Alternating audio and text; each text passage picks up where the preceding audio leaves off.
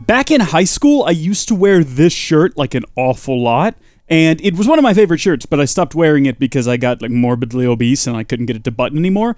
But I've lost quite a bit of weight and it buttons up. However, apparently my arms have grown and the sleeves have not, um, have not. Howdy there, folks. How are y'all doing? My name is Rees, and welcome to another episode of Just a Byte, where we take just a bite out of games. Now, we have not done one of these in a long time, and I have got a game that I am very excited about today. It's called Astral Chain. I have not watched anything about it. I've not read reviews. I know that it's been getting like rave reviews, which is why I bought it, but I didn't want to delve in because I didn't want to ruin it for myself. I want to experience it firsthand. But if you're not that person and you want to watch someone else experience it for the first hand, you're in the right place. Look, I haven't even launched the game yet. I plugged in the cart, I downloaded an update. Uh, I've been playing a lot of Super Nintendo games. They've got A Link to the Past, which I never played before. I played A Link Between Worlds, basically the same game, but uh, I, went back and played A Link to the Past for the first time. It was a lot of fun. And I'm playing my way through Mario World now for what I think is my first time, but for some reason, a lot of it is really familiar. I think I might have played it on something on on um uh, mm, let's play Astral Chain. Let's get into this. There's there's an anime girl with like legs and boots. I love boots. Those ones that go all the way up to like the knees. Big fan. Can't wait to see where this goes. Oh, cool. It's one of those cubes from Kingdom Hearts 3. I didn't realize that this was a crossover game. Very much looking forward to this. Oh, we're saving. We've, we've made it that far into the game. We've, we've got our first checkpoint. So, of course, this is a Platinum game. They made Bayonetta. I've played Bayonetta 1 and 2. Both are fantastic games. Both are games that require you to be good at video games, which is something I've struggled with since I was a child. I don't think I've ever been good at any video game besides the original Battlefront 2. And even then, I, I just played against bots. Oh, it's a crossover with Halo. It's got the villains from the fourth one, but they're a different color. Wonder if that means that they're more powerful. Okay, they move around like the creatures from Until Dawn. If you've ever played that game, I've played half of it, and uh, Jenna refuses to play more. And I am not playing it by myself, so half of it's gonna have to work. Also, it's bothering me that that thing hits the window and there's a delay before the controller vibrates. I am playing with the Pro controller today. This game looks really good. They've certainly figured out how to make graphics look impressive on the Switch. Because let's be honest, it's not a powerhouse. It's a bit more powerful than an Xbox 360 or a PlayStation 3. Um, closer to the baseline, you know, like Xbox One and baseline PS4 than it is the PS3 and Xbox 360. But it's not quite there. Uh, but if you know how to develop for it, you can make a game look good. This is just a cutscene, but it looks really good. And uh, you know, Breath of the Wild looked really good. It got better as well over time. Nintendo updated it. They fixed some of the frame rate issues. Um, wow. That guy's dead now. Unfortunately, it's a shame to say that he's so unfazed. He's so cool. Oh. Okay. This has got to be establishing the story so I should be paying attention. All right, so we are on the character creation screen, and I am leaning toward UEYOO3216. It might be the thigh-high boots and short shorts that's doing it for me. I can't say for sure, but I'm leaning that direction. We get to name her. Oh, we get to give her a name. Oh, okay. Um, do you guys remember my Pokemon video? Meet Jenna, everyone. is she gonna be okay with this? All right, I'm in control now, and I have to be careful what I say because I have named the character Jenna, and anything I say can and will be used against me on the Discord. Trust me, I know from experience. All right, I'm in control, and I am ready to do what must be done. Get to the chopper! We got to hurry before the things come back. All right, I've got my first taste of combat here. I can evade with B. I can attack. Oh, this is going swimmingly so far. All right, it's very hack and slash so far. I don't know if it gets more nuanced at some point in the future, but there's absolutely nothing wrong with that. I love a good hack and slash experience. Cool. How are we supposed to fight something we can't even see? I mean, I can see them just fine. All right, I've got a chained chimera now, and the poor thing keeps falling over. This just became an entirely different kind of game. That was pretty cool. But Jenna's hair turned blue for some reason. What in the hell was that? Oh, good, she's back to normal. I was worried. Oh no, we killed Jenna! Oh, we killed her! Oh, this is the end of Howdy, folks.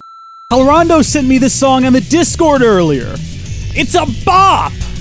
I gotta say, I don't know how this video is gonna flow, considering for most of that there was dialogue while I just kind of stared at the screen going, I don't know how that's gonna work in a video. Alicia here is wearing the same shorts we are, but it looks like she's also got on That's the call you ignored earlier. black tights, yoga pants, pantyhose. Look, if I've never changed. Maybe she's really frostbite and her legs shouldn't be working right now. I can't say for sure. Duty points. I gotta say, this has one of the best training areas I've ever seen in a video game. So it takes you to the police station right after that opening quest, and you have the ability to skip whatever ones you don't need. Like, I don't need to brush up on movement, attacking, or locking on. But then some of the things that you maybe weren't too sure about, like Legion movement, Legion attacks, you can pick them, and the game just tells you how to do it, walks you through it, gets you comfortable with it. You can repeat them if you need to. I like this. This isn't a review of the game, I've just started playing it, but as a person who doesn't pay attention when directions are initially given to them very often, this is nice. It feels kind of weird to be saying this to my own sister, but I'm in love with you. gotta say, it's nice working with you. Okay, good. I thought we were going like a Game of Thrones route here. Yeah, I mean, we can hope, you know. I mean, it's uh, it's nice to think that everything's gonna work out in the end, but you know, we don't know. All right, so we are now in the, I guess, the second major mission. We're out in the city again, and it's turned into like a investigatory game. You know, we're looking for clues as to what kind of a creature caused all of this uh, chaos. So, real change of pace from mission one. I, I like it. Whoa! Snap! Oh, it's Borok! No, it's not. Oh, it's King Kong. Hey, look! Redshift. No time to lose. We've Oh! got to do something about this now. Oh, that was horrific. I'm not sure if I'm doing this fight right. My my chimera is all in pain. Okay, I'm gonna try to wrap him up. In my chim- Oh, it worked. Oh, oh yeah, there you go, there you go, big guy. Just keep smacking him. Does he have a health bar? Oh, I've done it, everyone. I am great success. Oh, that was hectic. This game, I gotta say, there's just something about this game, even though it is hectic and crazy and chaotic and loud and with some really good music, you can somehow like get lost in it. I've been playing it for about, jeez, an hour and 40 minutes now. And, well, that's how long I've been recording. And I gotta say, Um, my mind has just been free to wander. Like the the gameplay is is deep, and I got a feeling it's going to get sort of more complex as it goes. It's it's already proven that to be the case even this early on, but it's easy to pick up, and it's easy to just let your mind wander to to deep thinking. Sort of while you're playing it, which I very much appreciate. Which, by the way, I don't know if you noticed, but these people over here are being consumed by red nonsense and being turned into monsters. It's quite disappointing. Or maybe these are monsters? It's hard to tell. Sometimes they're monsters, and sometimes they're people that have been turned into monsters. Check this out, though. You can like wrap them up in your chain, and then you just like let your uh, let your guy go crazy on them. It's a great time. I think this is going to be my first boss battle. Oh yeah, this is all the signs of a boss battle. Oh! I've been chimeraed. I'm going to the other side. I think we just got Jenna killed again. Oh. Okay, this guy's got a real red theme. Hold on, we can make this happen. We can make this happen. Here we go. It's boss time, baby. Check it. Yeah! Come on, this is everything that we learned previously in uh, training. Oh, this is straight out of Legend of Zelda. I know this enemy. These guys don't seem to have health bars, as far as I can tell. So I don't know how I don't know how well I'm doing right now. Possibly not well at all. Get back over here. Okay, check this out. Oh! so you can catch them in your chain, and then you can fling them, and while they're down, you and your legion can just smack the ever-living daylights out of the guy. Ain't nothing you can do about it. I really do wish that I knew how much health he had, though. Maybe it is on the screen somewhere, and I just don't see it. But um, as far as I can tell right now, I just got to keep smacking him till he's dead. Uh, it'd be much better to use a sword right now. I, I missed my golden opportunity. Oh, I missed my opportunity to smack him. Come on, he's got to be close. He's got to be close. We've been waylaying him. He can't go on much longer like this. Come here, you nasty. Come here. Come here. I'm going to teach you the meaning of pain. Hey! Well, I mean, a lot of good teaching him that did. You know, he's dead now, so it's, it's all that learning's gone to waste. If we're freaked out, think of how those civilians must feel. Time to gut it out, people. I feel like if you cut the audio out of this scene and you just like put a like a dope track underneath it, it would look like some sort of weird dance party. I'm just throwing that out there.